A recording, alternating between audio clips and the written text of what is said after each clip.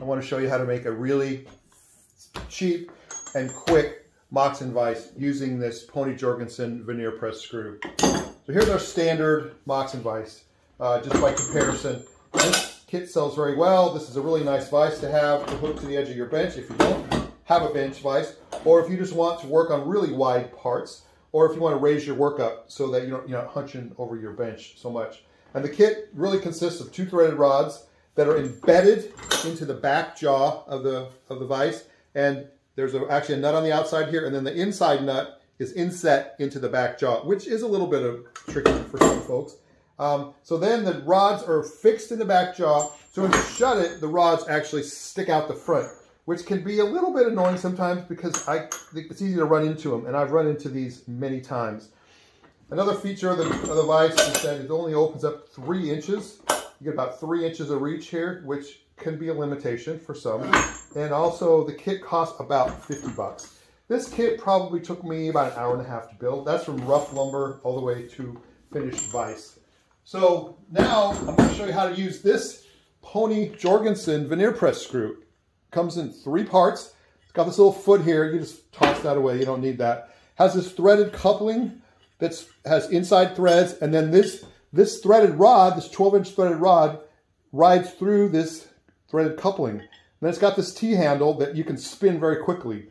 So this is the this is the guts of the system. So all you need to do is you need to embed this threaded coupling in the back jaw, and then your work is done, basically. So that can be a little tricky. So then you can actually see all you have to do then is screw this thread coupling in the back jaw, drill a hole. So What makes this a little bit challenging is that this threaded coupling is actually one inch in diameter, made just slightly bigger, so a one inch hole won't work. I had to drill a one and one sixteenth inch hole with the Forstner bit. It's got these two little fins on the side though, that you cannot pound this in a one and one sixteenth inch hole. So you actually have to drill a hole that compensates for that. So this is what I did. I marked where my, my holes go, and then I took a compass and I drew a one and one sixteenth inch circle. I bisected that circle. And then at the two intersection point, and then at the two intersection points, I made a mark with an awl. Then I went to the drill press, and at those two intersection points, I drilled a one quarter inch diameter hole. And then I went back and I drilled out the waste with a one and one sixteenth inch Forstner bit.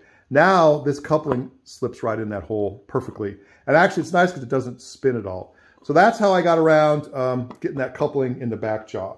So once you set the coupling in the back jaw, then all you need to do is drill a hole in the front jaw. And I drilled an 11 16 inch hole in the front jaw. This vise was done basically. So a couple points on layout. I leave three inches on each end for the tab, I call it, to attach, to drill a hole so I can attach uh, my clamps. And then I make the jaw, the distance between those tabs. And then I come in two inches from each end of the jaw to drill my holes. That's a pretty nice setup. It's pretty simple to remember. And then I actually I actually went through and put a couple holes in the top um, to accept bench dogs, and I put a little bevel here so when I'm sawing like half blind dovetails, my saw won't hit the corner of my vise. So this whole thing from rough lumber to finish took me about 45 minutes. Um, so it's a very quick build. A couple of features I think are really important to note is that now that the coupling is in the back jaw and the threads are there, when I tighten my jaw down, there's nothing sticking out the front. There's nothing for me to run into. So that is a really nice feature. Um, the next thing is when I open this up wide, as wide as it goes, I could get nine inches of reach on this vise. For this one, I got three inches, so three times the reach. Um, it's very fast to build. The kit costs around, for two of these, you can get them for mid $30 range, so the price is fantastic. So there you have it. A really simple, quick Moxon vise using the Pony Jorgensen veneer press screws available at taytools.com.